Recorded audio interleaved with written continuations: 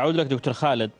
آه، قال نائب مدير صندوق تنمية الموارد البشرية شؤون التدريب الدكتور عادل آه، الصالح لصحيفة الاقتصادية أمس الأول أنهم لم يتسلموا خطة آه، لتنفيذ قرار صرف صرف الأعانة المؤقتة للباحثين عن العمل ولا علم له بالأفراد المشمولين بهذا القرار أو حتى حجم هذه الإعانة وقيمتها.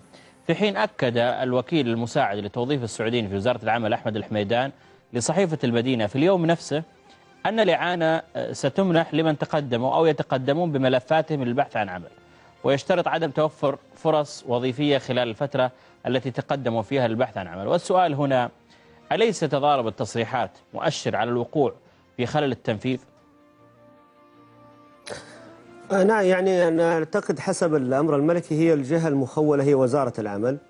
والمبلغ يصرف من فوائد صندوق تنمية الموارد البشرية. بالتالي صندوق الموارد البشرية في هذه الحالة هو ليست جهة عليه مسألة الإحصاء أو عدم يعني وضع الآليات والمعايير لمنح هذه الإعانة. هي يعني حتكون جهة لتمويل نقدي فقط بسبب الفوائد التي لديها. أما وزارة العمل هي المسؤولة لوضع الآليات والمعايير كما يعني وجه خادم الحرمين الشريفين في ضمن خطة زمنية ثلاثة أشهر لمنح الإعانة لمدة عام من تمويل الصندوق التنمية الموارد البشرية وبعد ذلك وضع برنامج التأمين التعاوني ضمن مسؤوليات أو ضمن آليات العمل في التأمينات الاجتماعية. فبالتالي هنا آلية وضع المعايير في صرف البدل هي مسألة آه، طبعا يجب أن يكون هناك آليات واضحة. يجب أن ما يكون نعطي فرصة لعمليات آه، يعني آه، تضليل على الجهة المسؤولة.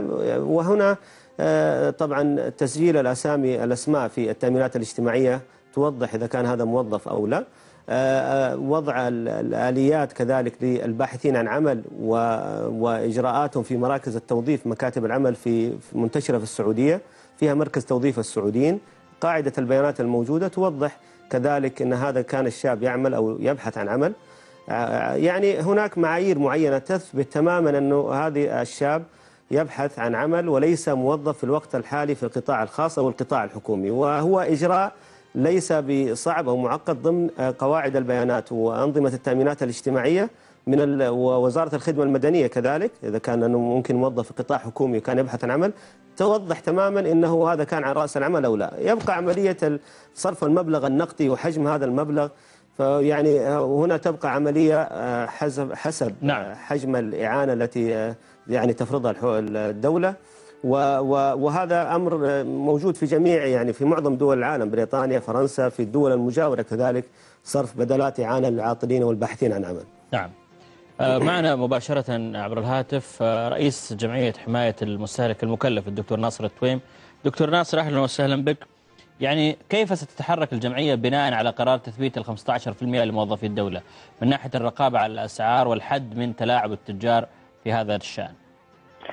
مساك الله بالخير وزميلك وكافة الأخوة المشاهدين والمشاهدات. طبعا في هنا في أنا عندي نقطتين أو رسالتين أساسية في هذا الخصوص وموقفنا ان نحن في جمعية حماية المستهلك اللي هي الحقيقة صوت معبر عن المستهلك المواطن المستهلك وأيضا الحقيقة عين أيضا للأجهزة الرقابية الحكومية. طبعا لابد إنه يعرف أنا هذه رسالتي للتاجر طبعا بشكل خاص إنه حماية المستهلك هي رسالة سماوية ورسالة أخلاقية. ويعني آه، الله سبحانه وتعالى في القرآن الكريم ويل للمطففين. وكل الرسل حقيقة ما ما, ما دكتور دكتور هذا كلام جميل وما اختلفنا فيه لكن التجار ما يسمعون هذا الشيء. أنا أتكلم عنكم أنتم يعني قانوني إجرائيا ماذا تفعلون؟ شفتوا تاجر آه، رفع أسعار على آه، تتجهون لمن؟ تعاقبون؟ عندكم أفكار في هذا الشأن أم لا؟ طبعا نحن في الجمعية طبعا نحن كما ذكرت لك نحن وسيلة لتلقي لو في أي مبالغات وتجاوزات في الأسعار بالذات السلع الأساسية هي بنوصل للجهات المختصة، نحن جهة ليس لدينا سلطات تنفيذية، لكن في المقابل نحن نشد على الأجهزة الرقابية أنها تتبنى في الحقيقة الأنظمة التعليمات وحبذا فيما يتعلق بالسلع الأساسية. وهذا ندعو منها منها الحقيقة من المنبر تعزيز تطبيق ما يسمى القرارات الحكومية بشأن إخضاع السلع المبالغ في سعرها لإحكام التنظيم التمويني في الأحوال غير العادية. طيب اشتك الناس الأسلوب هذا ممكن إنه يتم التشهير. طيب. يعني و... يعني الآن انت أنت قاعد تناتشد من هذا المنبر شكرا إنك خصيتنا فيه ولكن لماذا يعني ما يعني ما دام إنه هذا الحل لماذا الجهات الحكومية ما نفذت؟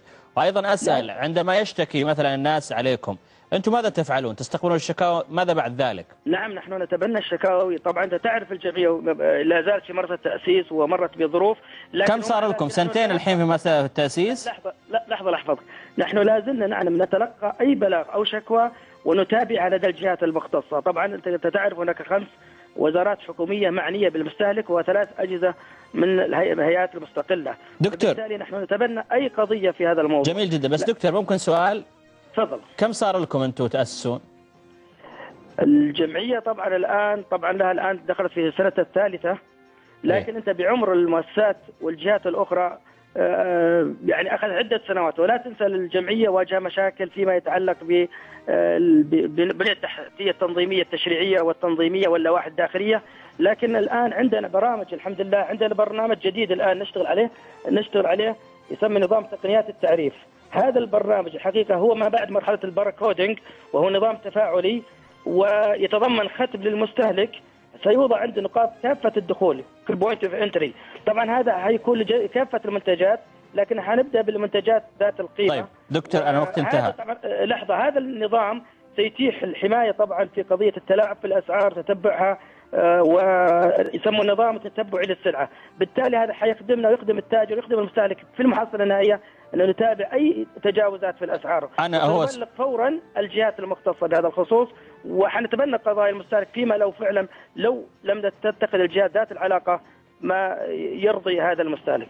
شكرا لك دكتور ناصر تويم إحنا نريد أن يعاقب التاجر الذي يعني يطفف في في الأسعار وأيضا في ناحية أخرى. يعني أنا صراحة كثير ثلاث سنين وأنتم تاسسون يعني لو بنسوي ما أدري لا تعليق. عموما المشكلة ما هي في حماية المستهلك مشكلة منظومة كاملة. عموما شكرا الحقيقة للخبير الاقتصادي الدكتور خالد الحارثي اللي كان أيضا معنا من من جدة. وشكرا أيضا لعضو مجلس الشورى الدكتور خليل الابراهيم ولرئيس جمعية حماية المستهلك المكلف الدكتور ناصر التويم على المشاركة في هذه الحلقة.